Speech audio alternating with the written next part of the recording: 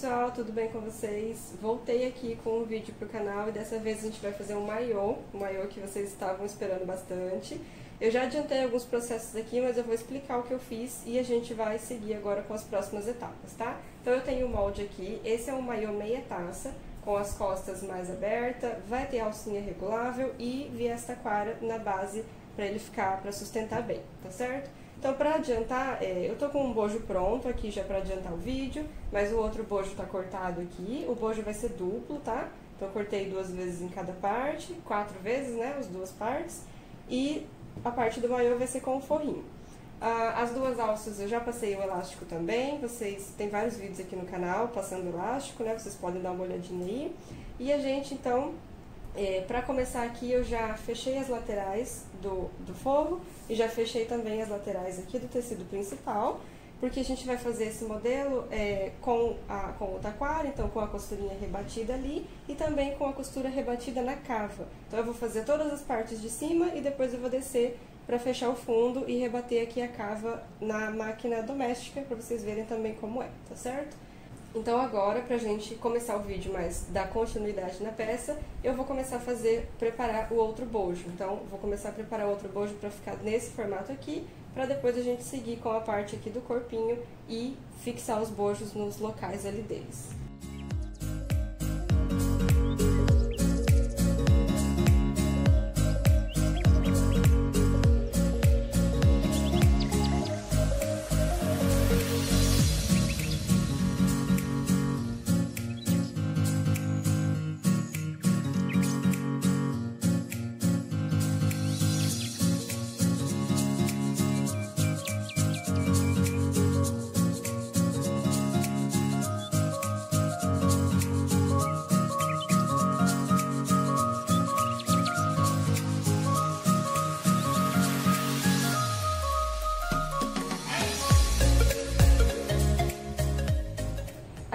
Bojo, então, eu já fiz o recorte do centro, né? O meu tá cheio de linha aqui porque eu já costurei errado, tive que desmanchar.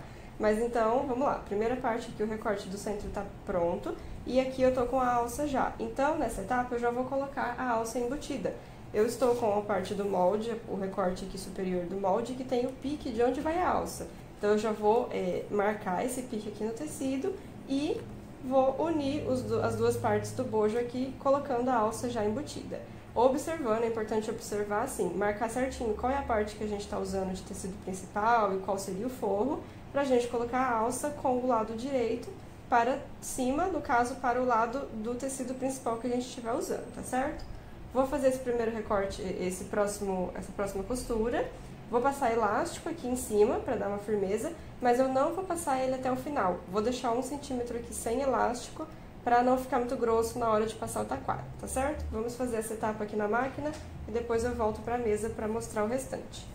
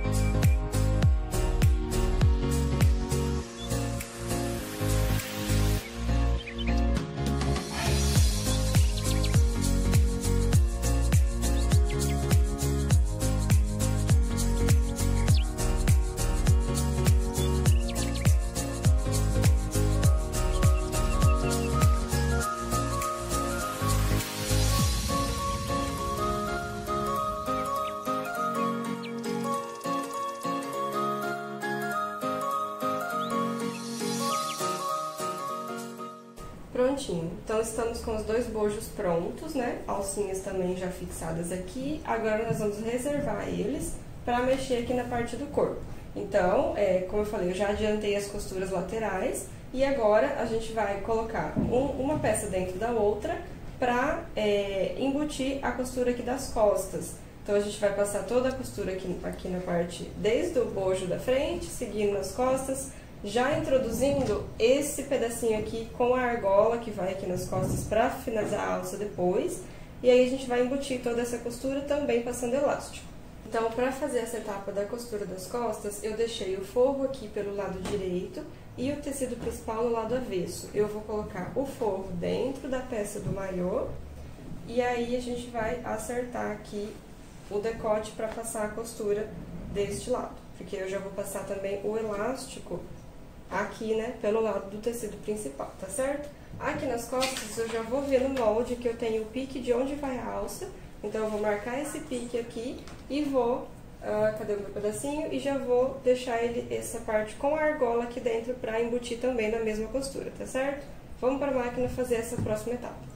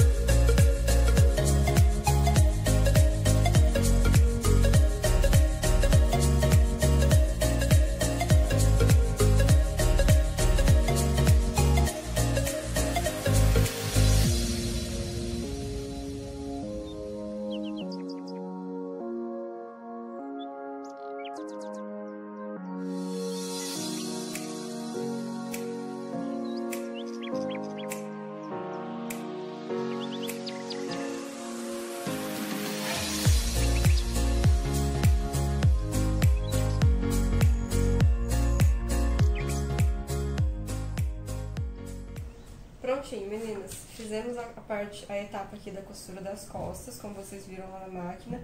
Coloquei aqui as duas argolinhas para fazer as alças.